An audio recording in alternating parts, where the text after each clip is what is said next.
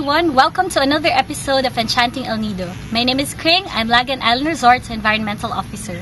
So for today, we're very lucky because we have a guest from the Philippine National Museum. His name is Dr. Arvin C. Diesmos. He's a herpetologist. So for the past few days, we've been going around El Nido and looking for amphibians and reptiles. So Dr. Arvin, how do you find the biodiversity of El Nido in terms of herps? Um, it, it's great, uh, but in general, this uh, region of Palawan, uh, the northern parts of Palawan, uh, is poorly known, poorly studied, and there there have been very very few um, expeditions, you know, bi biological expeditions uh, done here in in this region. And so uh, so far, you know, our you know our brief field work here is possibly among the first um, exploration of amphibians and reptiles in this region. Uh, but so far, you know, in the, only in the last three or four days of, um, of you know, going around looking for you know, frogs, snakes, lizards, it, has been very uh, you know exciting, and we've found uh, a good number of the um, uh, species known that uh, species that are only known from this region. You know, from you know, tiny microhylid frogs to uh, even a possible new uh, species of skink you know, or, or, a lizard. So it's very exciting. So did we find anything special aside from those? Uh, this, uh, so far, we, we, we, we, we possibly have um, you know one new species of lizard.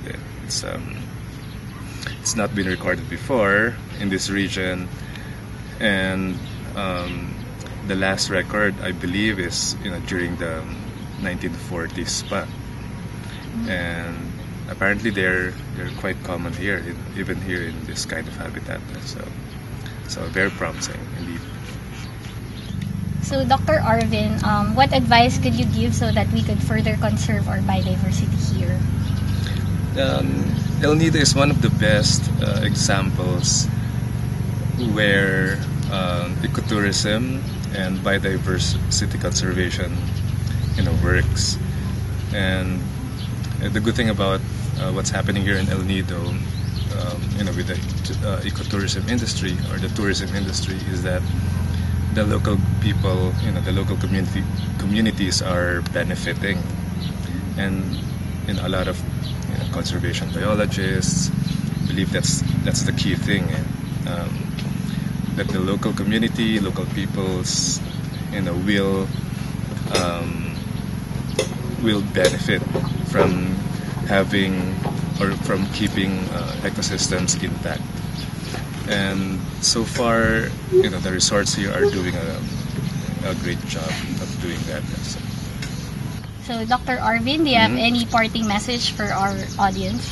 Um, I guess the, um, the the main thing is that you know this country is still a very beautiful place, and we have a lot of um, you know we we have a rich uh, biodiversity that you know, all of us should you know enjoy and discover and appreciate. That's the most important thing.